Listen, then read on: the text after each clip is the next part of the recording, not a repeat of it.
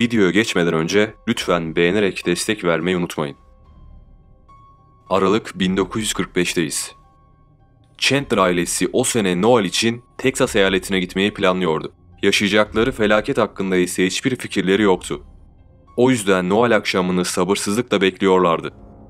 Noel günü gelip çattığında arabalarını hediyelerle doldurdular ve yola çıkmaya hazırlandılar. Joseph Newton Chandler, eşi Elena Chandler ve babasıyla aynı isme sahip Joseph Newton Chandler arabadaki yerlerini aldı. Ve seyahat başladı. Seyahat güzel geçiyordu. Saatler sonra Teksas'ta olacak ve sevdikleriyle beraber güzel bir Noel geçireceklerdi. Arabalarında şarkı söyleyip eğleniyorlardı. Seyahatin henüz yarım saati bile olmamıştı. Joseph Chandler bir kamyonun kendilerine doğru geldiğini gördü. Kamyon ters şeride girmişti. Şoförü muhtemelen sarhoştu ya da uykusuna yenik düşmüştü. Joseph o panik anında aracı sola doğru kırdı. Ama sol taraftan da bir araç geliyordu. Chandler ailesi karşıdan gelen araçla kafa kafaya çarpıştı ve aile fertleri olay yerinde hayatını kaybetti.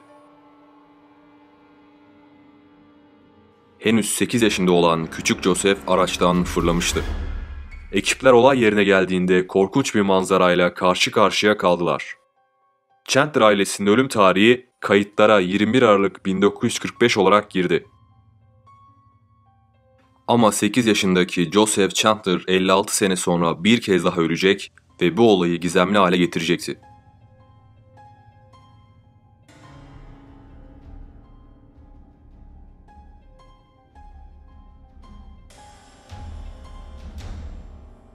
Tarihler 30 Temmuz 2002.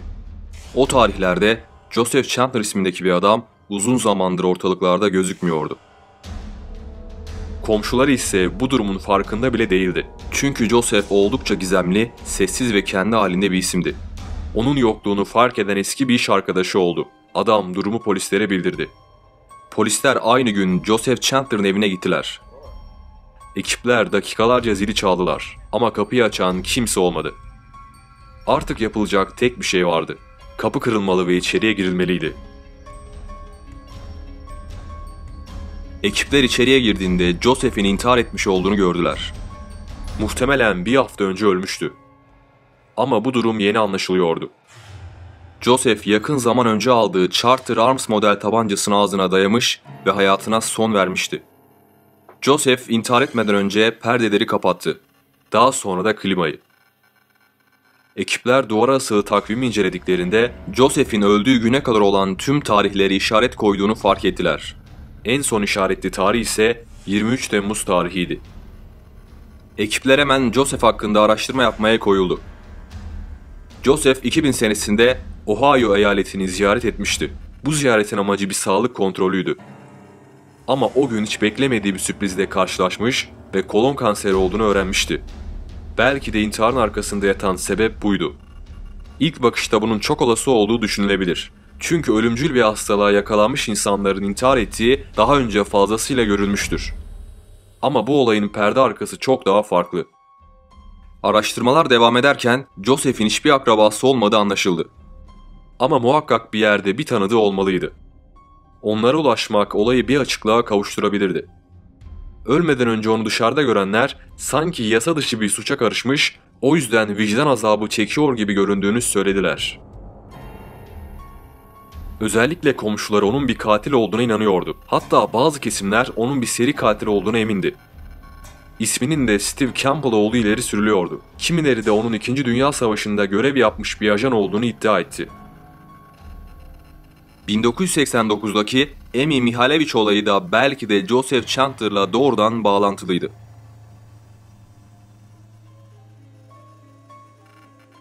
Joseph Chandler'ın banka hesabında 82 bin dolarlık bir birikimi vardı. Geride bir vasiyet bırakmamıştı.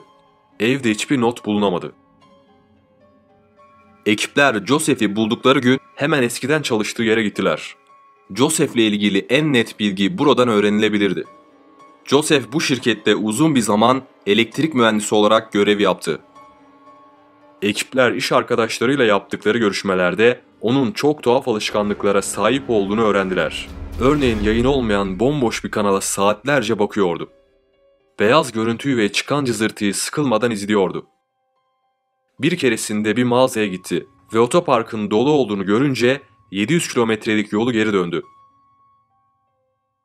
Başka bir tarihte gangster kostümüyle bir kostüm partisine katıldı ve tüm gece hiç kimseyle konuşmadan bir köşede öylece oturdu. Joseph'le ilgili bu ve bunun gibi birçok garip olay anlatıldı. İş arkadaşları onun paranoyak bir insan olduğunu, kimseyle konuşmadığını söyledi. Araştırıldığında bir kimya şirketinde ve bir elektrik şirketinde çalıştığı tespit edildi. Evindeki bilgisayar incelendiğinde en son plastik patlayıcılar hakkında araştırma yaptığı saptandı. En çarpıcı iddia ise onun gerçekte Zodiac olduğuydu.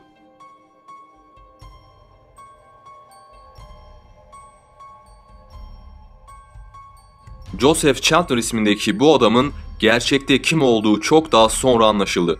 Bu adam aslında Robert Ivan Nicholas'tı. Robert Indiana'da doğdu. Ardından deniz kuvvetlerinde görev yaptı. Robert 1926 senesinde doğdu. Yani gerçek Joseph Chandler 1945'te öldüğünde Robert 19 yaşındaydı ve askerdeydi. Japonlar Okinawa'da Amerika gemilerine saldırdığında Robert o gemilerden birisindeydi. Japonlar o tarihte Robert'ı yaralamaya başardı. Ama aldığı yara onu öldürmedi. Robert uzun bir süre tedavi gördü. Tedavisi bitip eve döndüğünde ise üniformalarını bir daha giymemek üzere çıkardı. Ocak 1947'de Indiana'daki St. Michel Kilisesi'nde yapılan törenle Laverne Court'la evlendi. İkili 1964'e kadar evli kaldı. Bu süre zarfında Robert'ın bir tane evladı oldu. Robert 1964'te Kaliforniya'ya taşındı ve ailesini terk etti. Daha doğrusu ailesine böyle söyledi. Belki de başka bir yerdeydi. Oğluna Kaliforniya Napa'dan birkaç kez mektup gönderdi. Ailesine bir otomobil fabrikasında çalıştığını yazdı. Ama bir sene sonra 1965'te ailesiyle olan irtibatını tamamen koparttı. 1965'ten sonra ailesi Robert'tan hiçbir haber alamadı. 1978 senesinde artık ne olduysa Robert Joseph Chandler ismini aldı. Bu kimlik hırsızlığını nasıl başardığı bilinmiyor. Fakat o senelerde böyle bir işlem günümüzdekinden çok daha zahmetsiz yollardan yapılabiliyordu. Belki de 78'den önce de kimlik hırsızlığı yapmıştı ama bunu doğrulayan bir kanıt bulunamadı. Robert 78 senesinden itibaren Joseph Chandler olarak hayatına devam etti. Bu isimle sosyal güvenlik kartı bile aldı. Olabildiğince şüphe çekmemeye çalıştı. İnsanlardan izole bir hayat sürdü. Onun gizemi ortaya çıktıktan sonra Robert'ın D.B. Cooper olduğu da iddia edildi. Ama en çok konuşulan iddia onun Zodiac olduğuydu. Çünkü bu iddiayı ortaya atanlar kuvvetli kanıtlar ortaya sundular. Zodiac hakkında ifade verenler yüzünü Robert'ınkine benzettiler. Robert'ın boyu ve kilosu da Zodiac'la neredeyse aynıydı. Robert'ın evi terk etmesiyle Zodiac olaylarının tarihleri de eşleşiyordu. Zodiac olayını inceleyen ekipler, olay mahallinde askeri botlar olduğunu fark etmişti. Robert da bir askerdi ve askerliğin izlerini hiçbir zaman üzerinden atamamıştı. Belki de bütün bu olayların sebebi askerde yaşadıklarıydı. Zodiac 1970'te şifreli bir mektup göndermişti.